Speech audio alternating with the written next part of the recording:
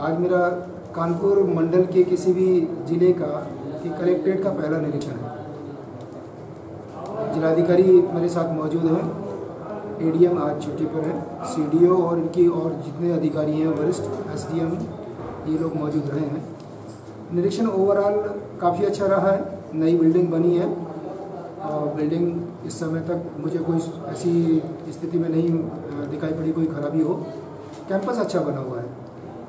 दूसरा जो कार्यालय में रिकॉर्ड्स का रख रखाव है रिकॉर्ड्स रखे गए हैं, लेकिन अप टू डेट किए जाने की आवश्यकता है, चाहे वो किसी की सर्विस बुक हो या किसी की जीपीएफ पत्रावली हो।